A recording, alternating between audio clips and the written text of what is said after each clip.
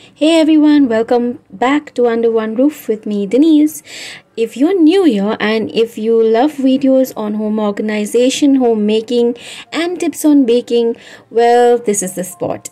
Please do consider subscribing and pressing that bell icon for further updates from me. Most of us don't think about an important document until we actually need it. If our papers are spread out everywhere and we don't have a central organization system at home, we can waste a lot of time and energy searching for things. Speaking from experience, been there, done that. But with a few simple steps, we can organize all our important documents. Before we go to the steps, there are two things that we need a dedicated space for our documents and some stationery. And now we're ready to start. Before we can organize the documents, we need to locate them. We need to check our wallets, bags, drawers, kitchen counters, wherever you stash your paper, and then place it on your table or wherever it is convenient for you to sort and to categorize.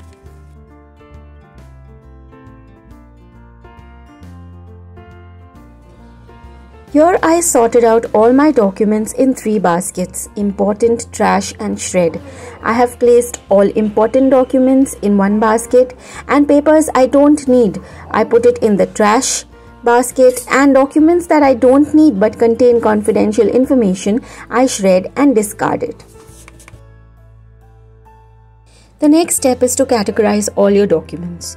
The first thing is I made a list of all the documents that I have and then with the help of post-its I placed all the documents in different categories.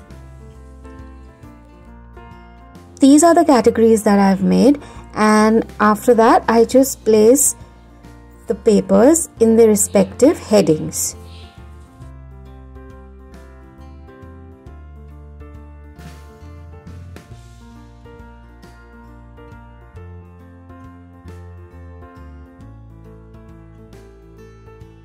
After all your documents are categorized, it's time to give it a home. You can place them in files, folders, anything that you prefer. This is how I have organized it.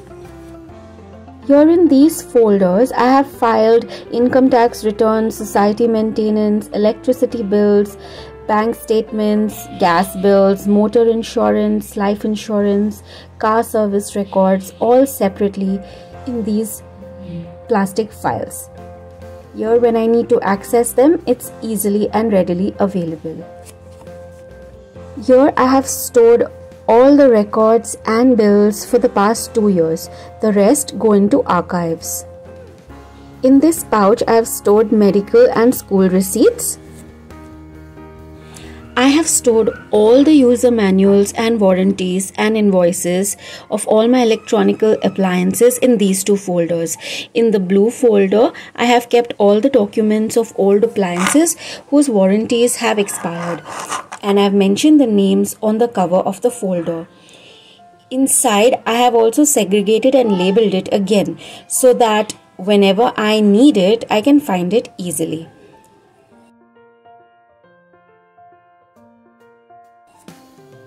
The pink folder has documents of new appliances where the warranty is still valid. Again, inside I have segregated based on the type of appliance.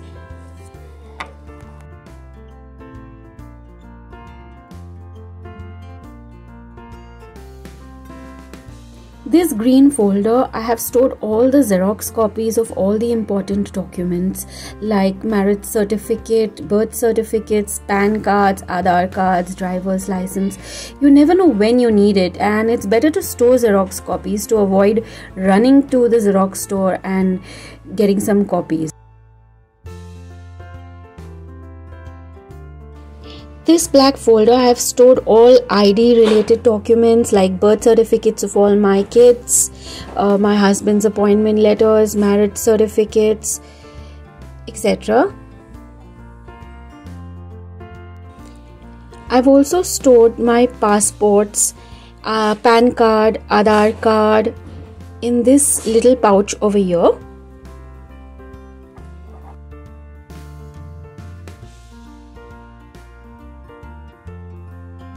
So this is a small visiting card holder. I have used this to store all my passport photographs of my full family.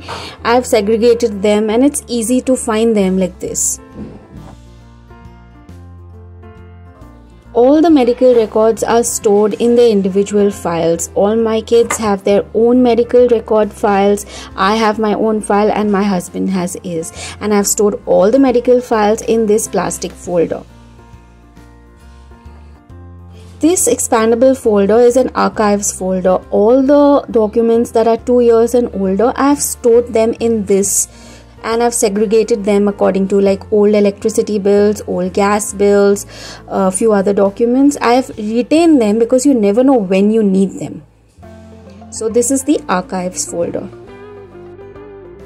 This is a smaller expandable folder. I'll be using this to store all my checkbooks.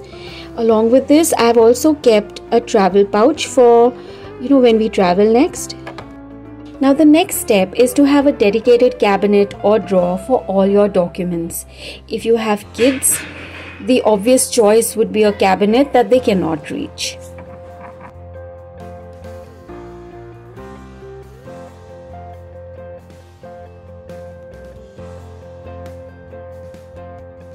Three useful tips. If you remove any document, please do refile it as soon as you're done with it.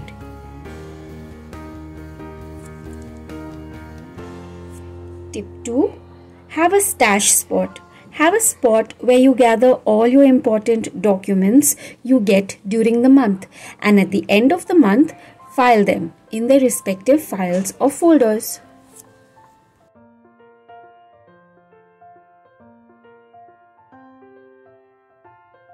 Tip 3 At least twice a year, review the documents you have in your filing system to see if anything can be purged.